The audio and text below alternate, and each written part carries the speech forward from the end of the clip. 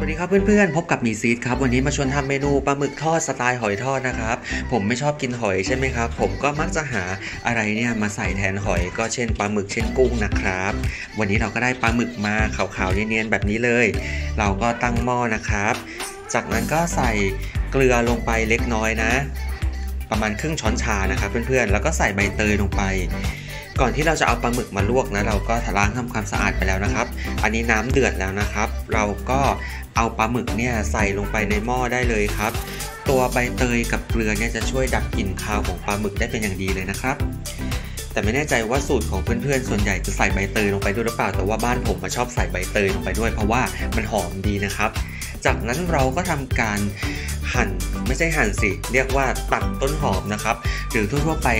ถ้าเพื่อนๆใช้เนี่ยก็ใช้วิธีการหั่นใช่ไหมครับ แต่ว่าผมเนี่ยชอบใช้วิธีการตัดเพราะว่ามันง่ายดีนะครับ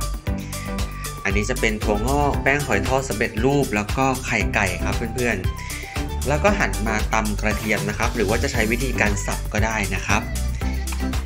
นี่เราก็ตำให้ละเอียดละเอียดนะครับ จากนั้นก็เอามาใส่ถ้วยผสมนะครับ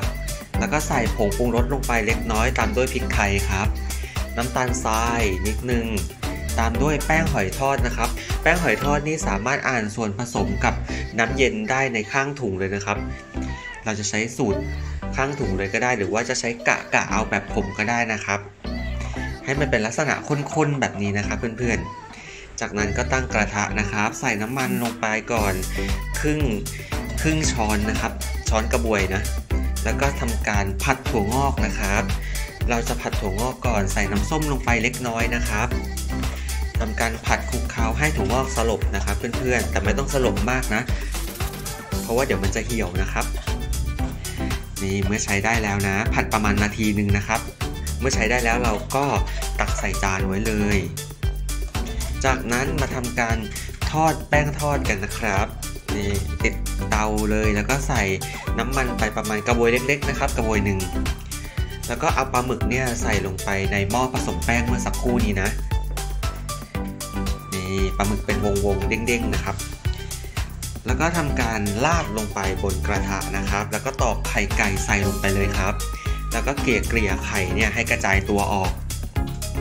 จากนั้นนะครับเราก็ทำการทอดให้สุกไปเรื่อยๆนะครับ ให้สุกทั้งสองด้านเลย เราก็ค่อย ๆ ทอดด้วยไฟกลางๆไปนะครับ คอย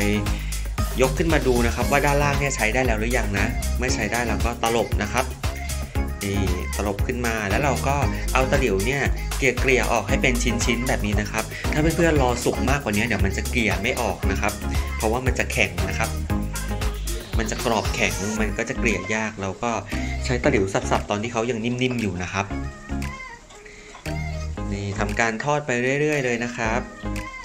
จะบอกว่าวิธีการทำแบบนี้เป็นวิธีที่ทำง่ายมากๆนะครับ สามารถทำกินเองได้ที่บ้านโดยไม่ต้องมีกระทะใบใหญ่ๆนะครับเหมือนร้านหอยทอดทั่วไปนะ กระทะใบเล็กๆเนี่ยก็สามารถทำกินได้ แล้วก็แป้งสำเร็จรูปเนี่ยก็สามารถทำหอยทอดได้ง่ายเลยนะครับ เพียงแค่เราใส่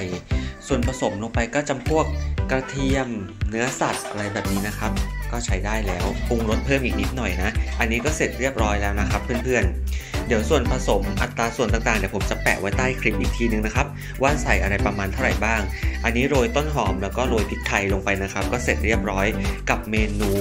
ปลาหมึกทอดสไตล์หอยทอด ในแบบฉบับวิธีการทำแบบบ้านๆนะครับของมีซีดยังไงเพื่อนๆที่ดูคลิปนี้นะครับลองเอาไปทำตามดูนะครับทำตามแล้วเป็นยังไงคอมเมนต์มาบอกไว้ที่ใต้คลิปด้วยนะครับทำหอยทอดปลาหมึกทอดด้วยสูตรง่าย ๆนะครับ